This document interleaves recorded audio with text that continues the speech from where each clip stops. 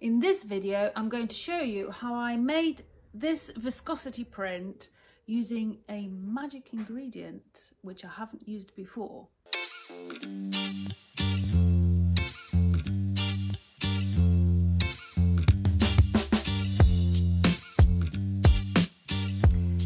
I came up with the design concept by photographing some flowers I had in my garden. Um, and this is the original image. Um, and what I did is I used a tool called Procreate on my iPad and I sort of digitally enhanced the image into kind of more illustrative um, photograph. And then I used sort of different monochrome um, not monochrome, but sort of limited color combinations to come up with um, sort of to reduce the amount of colors I have, just to give me sort of ideas of what I could achieve potentially with Collagraph. Um, I then decided to go for a cutout image uh, without background and um, I created, I, I, printed my image onto a um, transparent paper and then transferred the design um, onto my plate. What I found really tricky in viscosity printing previously is sometimes the loose ink doesn't quite repel the thicker ink as much as I'd like it and previously I just used um, linseed oil to loosen up my looser ink and I just used the other ink, the thicker ink, is just in its normal consistency.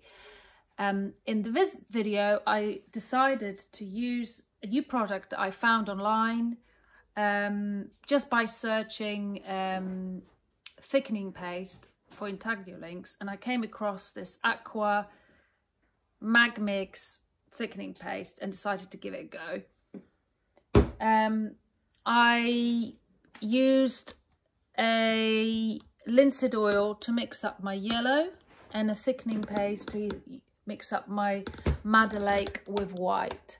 So I've essentially, I've used three colours, Indian yellow, sepia, um, zinc white mixed with Madder Lake. And uh, I created a plate.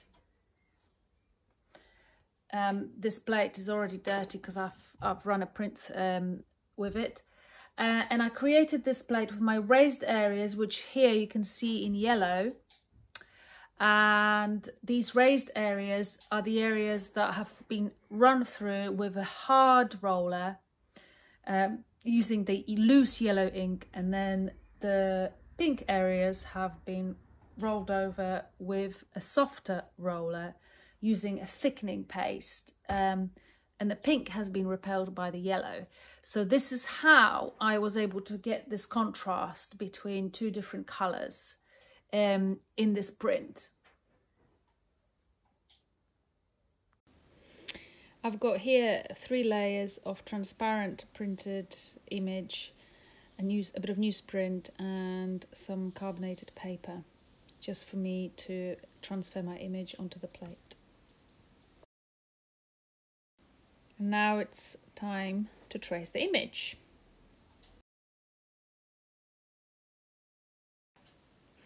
I'm going to cut out my image. Um, you need quite a sharp scalpel for that. It's, it's quite hard work and you might need to cut twice, but it does come off eventually. And I think it's really well worth it because it, it, the embossed image onto the lovely print making heavyweight paper is unbeatable. And as you can see, I've just broken my scalpel. Luckily, no injury there. And I was able to um, get a new blade in.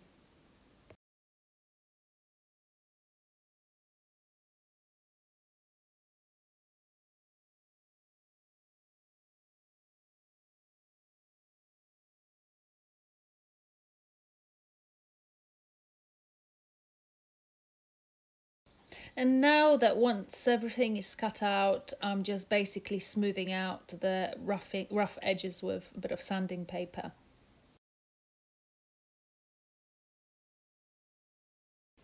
And now I'm adding a, a bit more detail to the design. And here is the final uh, drawing ready for me to cut it out. So I'm just scoring it right now with a dry point tool. And uh, for larger bits, I'm going to cut it out with a scalpel. Um, so it's quite a laborious process with this plate, but I think it will be really worth it. And um, it will look great. Spending a bit more time on, on the design, it, it will really pay off.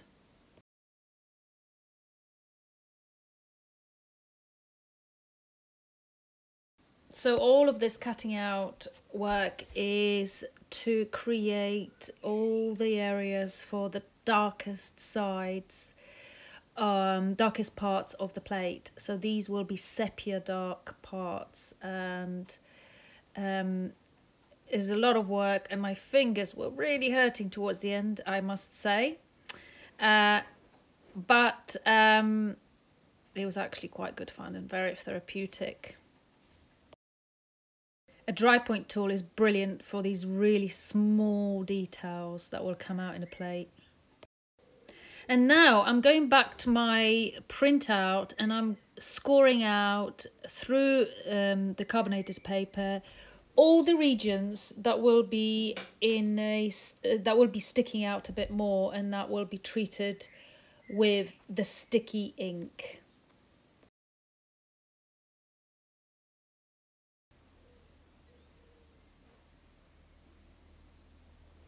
And there we go. Finally, we have all the bits of uh, yellow that I will now create.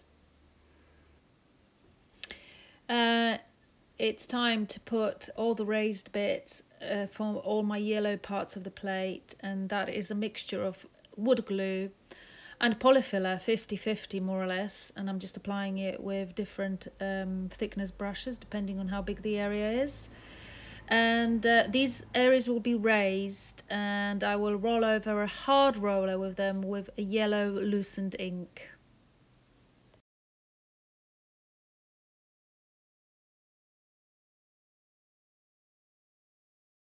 And then when my plate is dried, I, I'm just sanding out bits that are sticking out a little bit too much so I'm, I'm don't scratch my roller.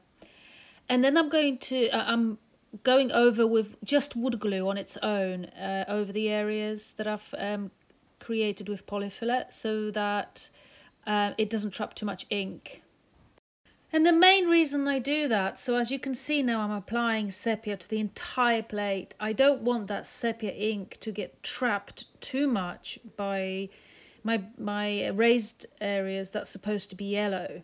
So this is why I applied wood glue so I could wipe the sepia ink off and expose those areas and get my lovely Indian yellow ink onto the plate. Um, I, I have shellacked my plate before I inked up.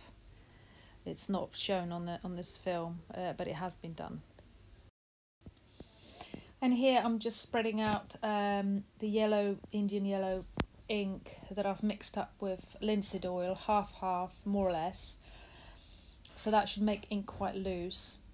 So uh, with hard roller, I'm just rolling the yellow ink over it. And now uh, the Madder Lake ink mixed up with my thickening paste.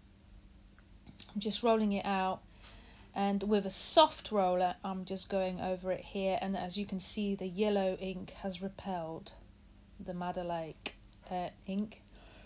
Um, I'm just doing some touch-ups with some cotton buds and just do a bit of scrim just to give some highlights um, and a bit more three-dimensional feel to my plate as well as uh, just adding up a bit more yellow because um, I wanted a bit more contrast felt it wasn't enough there uh, so, you know, just adding a bit more and just wiping off a little bit ink of, of ink that got into the wrong places.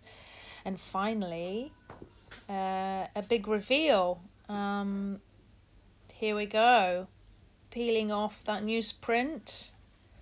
It's always a very exciting moment. So obviously I've, I've wetted my paper. It's a 300 GSM paper, Snowden. And there we go. Ah, it's awesome. I'm actually really pleased. Uh, look at that embossing onto the page. This is what I love cutting out um, a print. And here it is um, in its full glory. Um, even though it's a proof, I actually think it's good enough uh, for a final print. And I might do variations of different colour schemes, but all in all, I'm really pleased with the plate, so I won't work on a plate anymore. Um, really hope you enjoyed the video and happy printing.